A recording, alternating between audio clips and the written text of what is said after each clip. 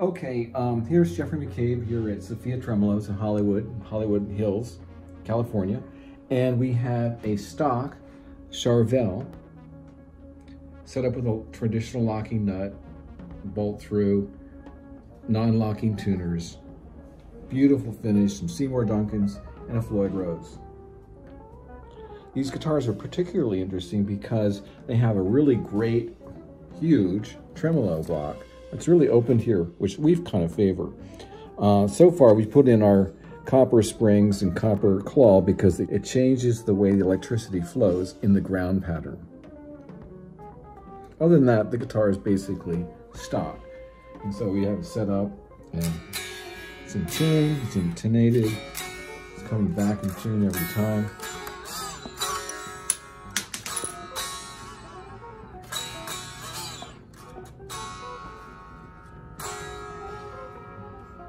You'll hear little variations. It sounds like a pretty cool Floyd.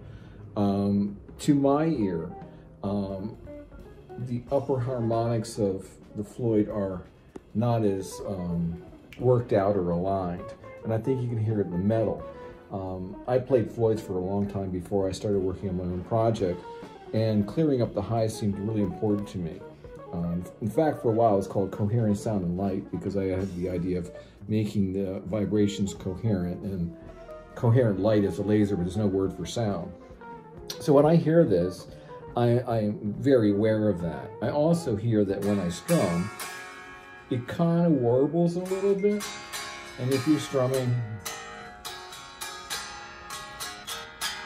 and because of that, and the metal, it has a little bit of a clang. It's not a kerrang like a Les Paul. And they have, they're different. And they're beautiful. I love them. I've played them for years. And it comes back very cleanly. And what we're going to do is take the Floyd out, put one of our locking nuts in. We're going to put a 292 in it and a drop tuner, which means that you can go to E to D um, and back again with a little side lever here. It fits in the pocket.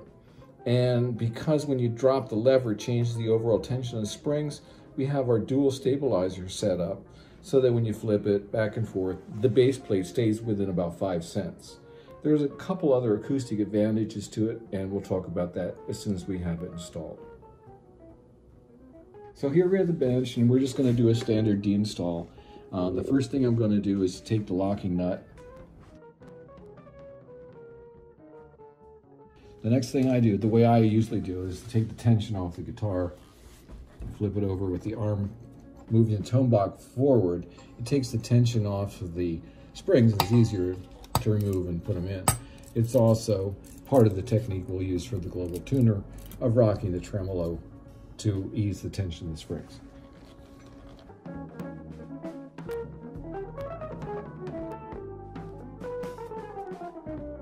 I'm going to take the um, string retainer off as well the, all the Sophia headpiece tuner locking nut lines include a built-in string tree, uh, as well as having individual string locks, the purpose of which um, are particularly nice for headless applications or more creative string um, loading.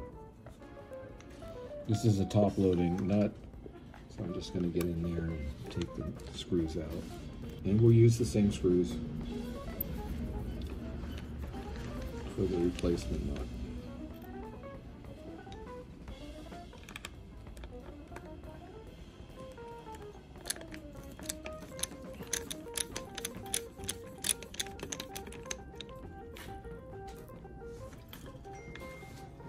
Here you can see that there's a, um, a shim that was uh, used for this. We probably will add shims for it because the Sophia is slightly different and I just want to fine tune a nice action.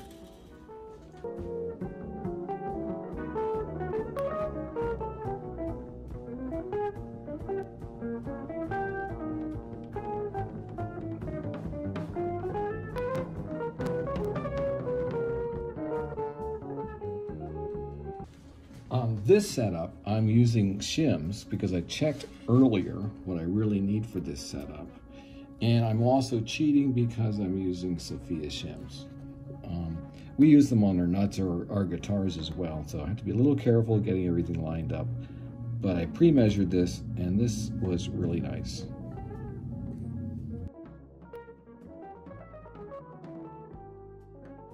This is uh, one of our um, locking nuts. Um, we call this the micro, has individual string locks. You can lock through the top, which is going to be necessary here, or through the back, and it has a uh, removable nut. And we offer it in 12R, 16R, and 20R in brass or stainless steel. We're going to use stainless steel in 16 here. Or 12, I think it's 12, sorry.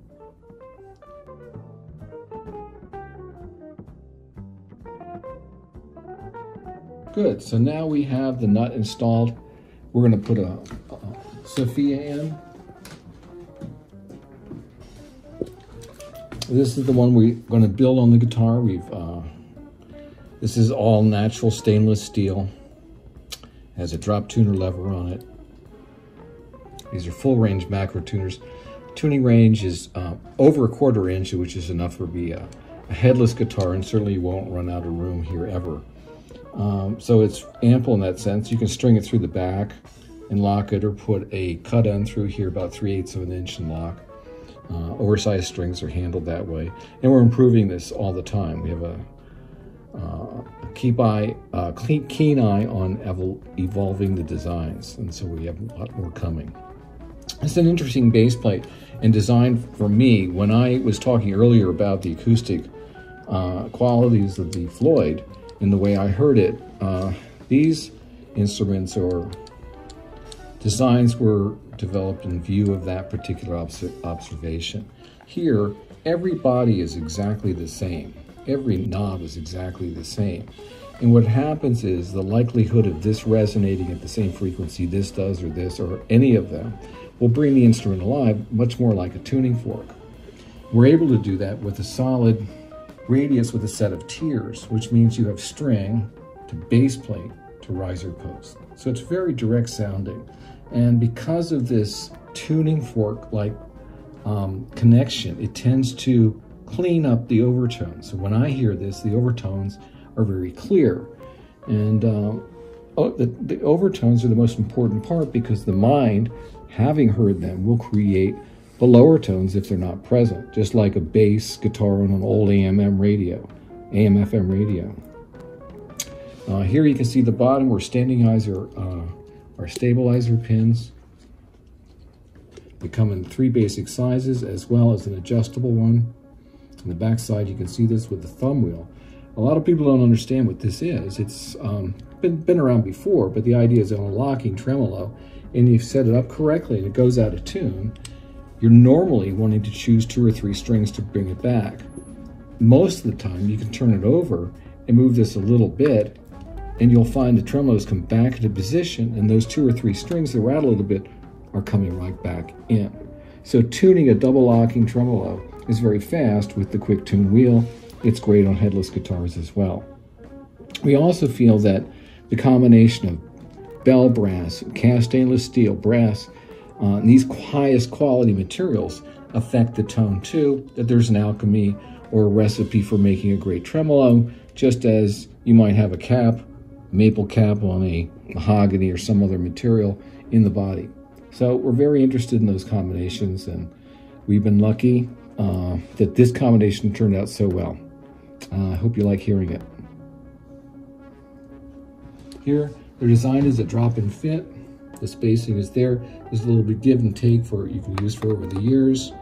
It drops into typical space like this. This one has to go down and back a little bit, and there you are. You'll see the tuners all fit in the space provided by this manufacturer, the Charvel. The drop tuner goes a little bit further, but this drops down pretty nicely. So aside from this range, when it's set up, you have pretty good upward range you have floating tremolo, ease of the drop D tuning, and a harmonically developed design and alchemical materials. In addition, we have a no wobble arm that uses a collet, and we just made another development, and it pretty much keeps its settings no matter what you do.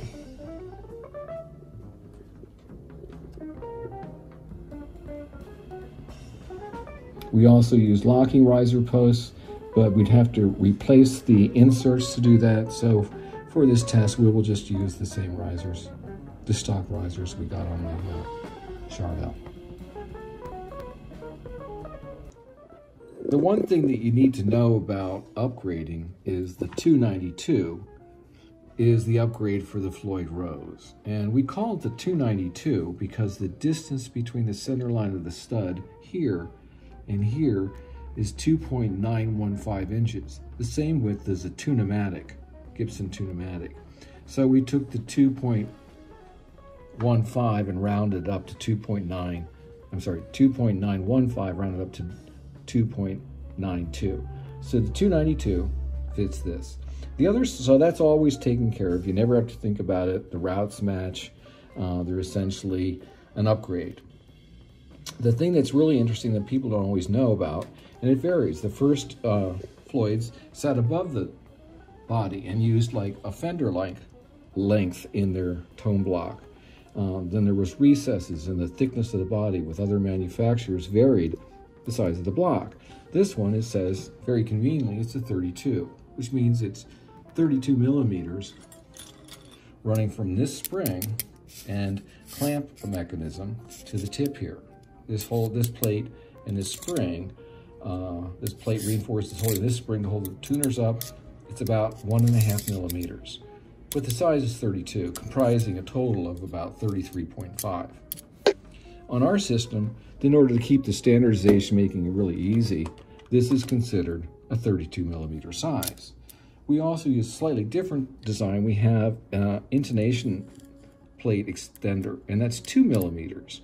So the Floyd Rose is about one and a half, ours is two, so ours tend to be about half a mil or 20 thousandths of an inch slightly longer. Uh, no one's ever complained, it's never, it's never been a problem. But the sizing is the sizing, so a 32 from your original is gonna be a 32 here. And that's whether it's a global tuner or a block tuner or anything that we offer, you're with a 32 millimeter size. So it fits in there and the springs align.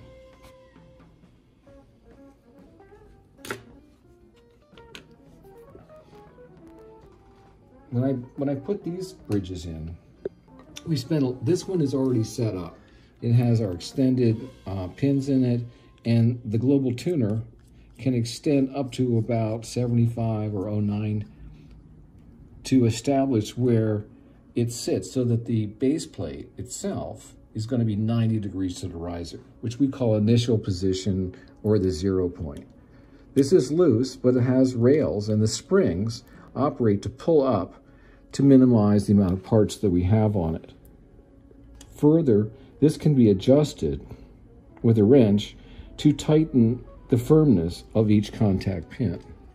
In this application, we've used a little bit longer pins. We have adjustable ones as well. If I remember correctly, you always, you always have to have a little bit of a gap, and I don't think it required much of a gap to be in the correct position. So I'm just gonna put it here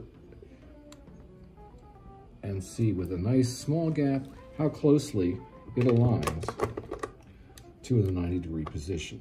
And here it drops down at an angle. It should be sitting about there. Here it's dropping down because the stabilizers need to extend out further. So I'm gonna take that, gently lock it,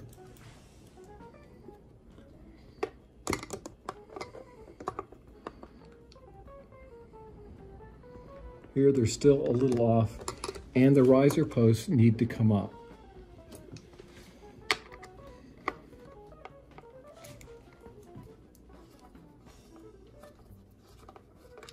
The riser posts do come up a little higher on the Sophia because the riser posts are aligned to the outside wings. So it makes this a little, hold it in place so that the riser posts are aligned to this rather than a little bit lower on a Floyd. So the riser posts come up to compensate it. And you'll see it end up being where the base plate will need to be flush to the body in the final fitment.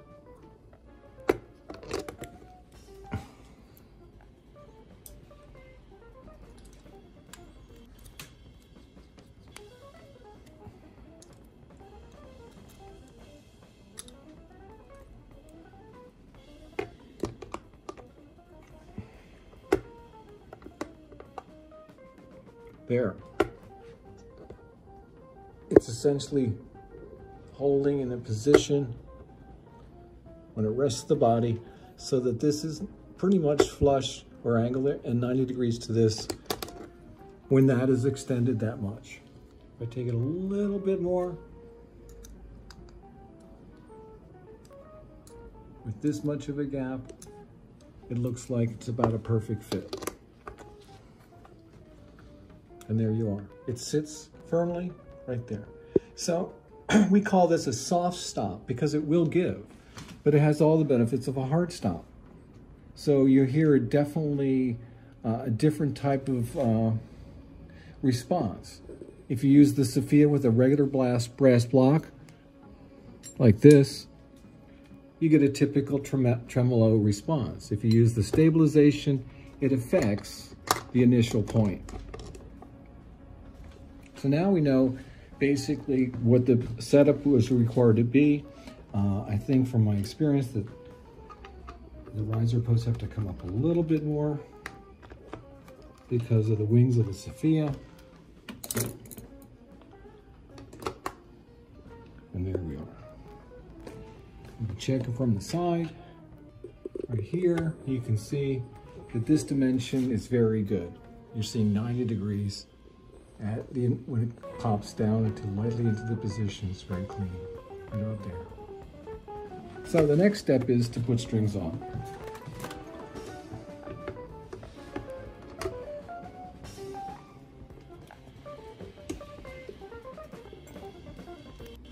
I usually start with a spring, hold it position,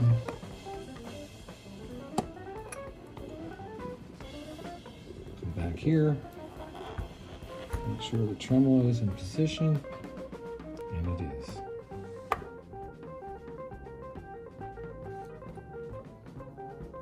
For me, I usually start with the, the bass side. Um, lets me understand everything about the guitar better. Here we have the lock screw. If you clock, if you screw it clockwise, it locks. Counterclockwise, it does not. Here, it's all the way up. You can see the hex screw in the slot. And at this point, we're telling you, do not use the, the tuner pin until you're better familiar with the whole mechanism. So the rule of thumb is, if this is up, don't use the knob.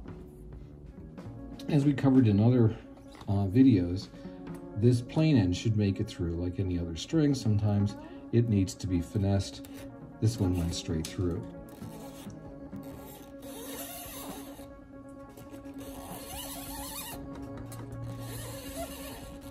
Once the string is pulled all the way through, like any other locking system, we ask you to practice locking it first before you put any tension on the string.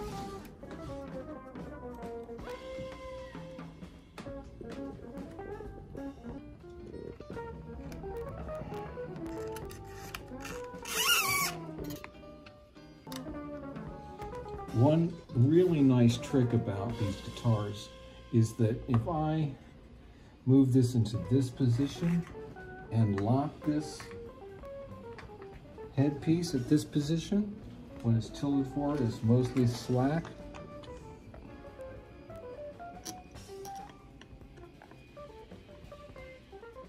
When this guitar bridge returns back to initial position, it's close to pitch. And so one of the advantages of having individual string locks, you can tune very quickly. Tilt the tremolo forward, lock one string, do every one. So we'll continue to do that. It's a quick tune method.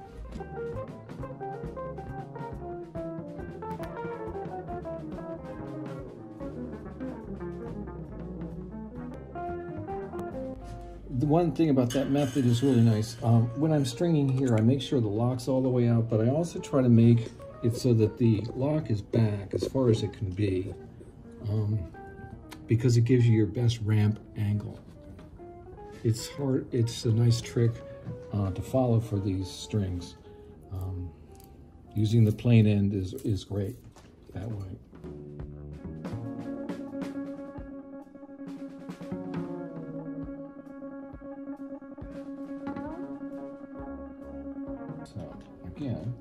I just prepare this with a wrench, drop the tremolo down, take the slack out of the string, crimp it a little bit just so it holds, and then lock it. And that's not a D, of course, but it's close.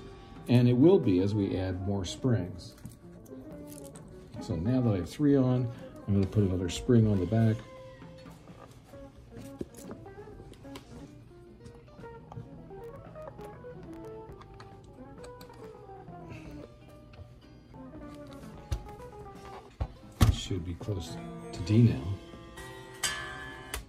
So anyway, a lot closer than you would be otherwise.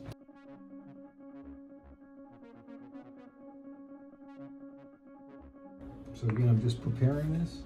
Drop the trim down to the die, pull it through, give a kink to the string, and lock.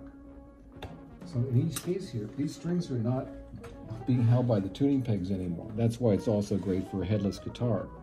So all the work's being done here and here.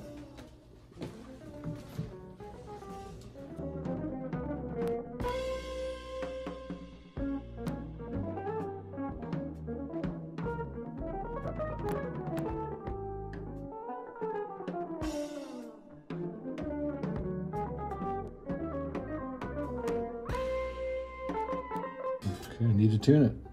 We'll be right back. So I'm fine tuning the initial install.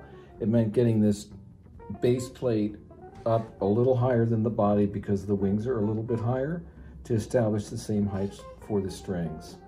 Um, and we set up, we follow the same things, just the springs on the back here so the pins would hit at the perfect spot when the guitar is completely in tune like this. And so we hit it go down, it's back,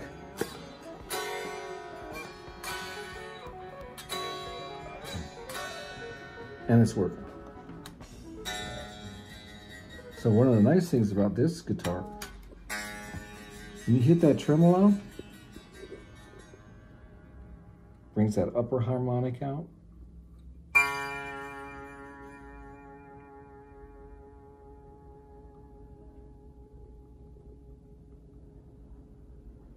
And that sensitivity, it's a little noisy, I think because of the fretboard a little bit. I'll have to adjust it a little bit more.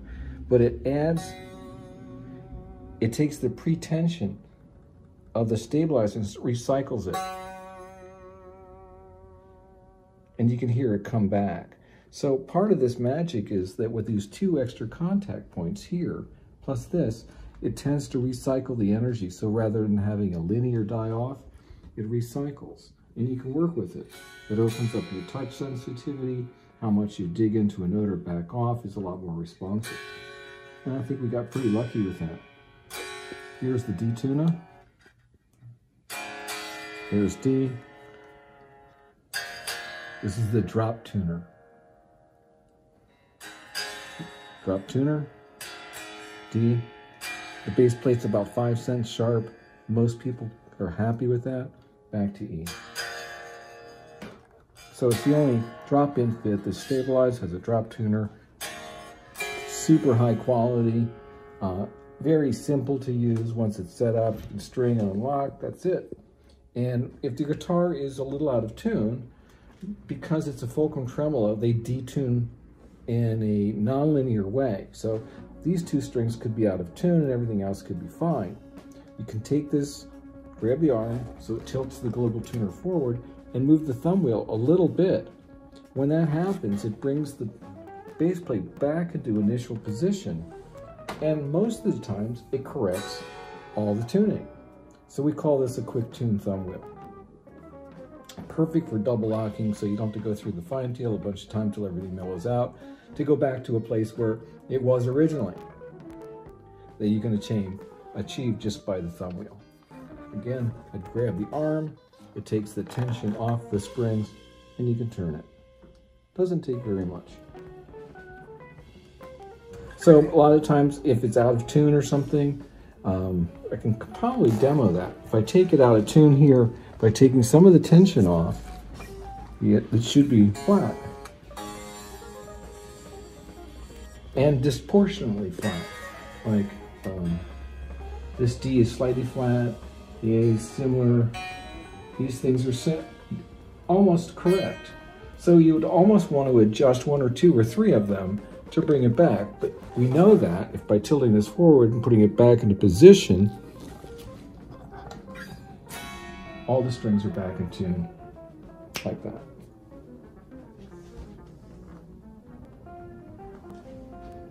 Thanks for checking in. This has been a lot of fun to show you about the Sophia, in particular the 292 for the drop-in fit and the drop tuner and how it works with our Global Tuner Pro with the pre-tension contact pins and the quick tune thumb wheel, making double locking tremolos and headless guitars very easy to use. Takes a second for the settlement, for the setup, but after that, you'll be super satisfied with the chorus that ring like hardtails and your strumming sounds without any wobble. Every note is clear and defined because it's stabilized with these four points. It sounds like Kerrang to me, and all the high frequencies are clear. So every note is better defined, intercooperates like it's meant to be in a musical instrument.